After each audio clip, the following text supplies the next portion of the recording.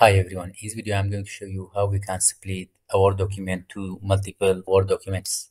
For example, here I have survey report, hydrology report, and report of bond material. I want to split it to three reports. How we can do it? First, just select this title and select heading 1.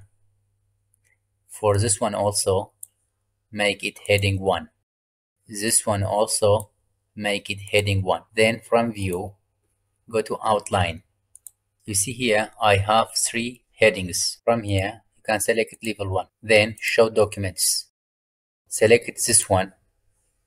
Then create. Yes the first one is created. Select second one.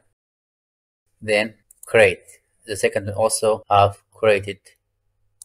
The third one create if you want to collapse or reverse the process, just collapse subdocuments. Now we are ready to save it. Just from File, Save As, Browse. For example, I want to save it here.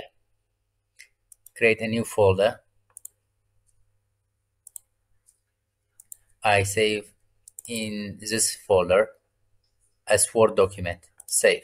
Now you can close. Let's go to the folder this folder. You see I have this three reports. If you see it helpful like the video leave a comment and subscribe. Have a nice time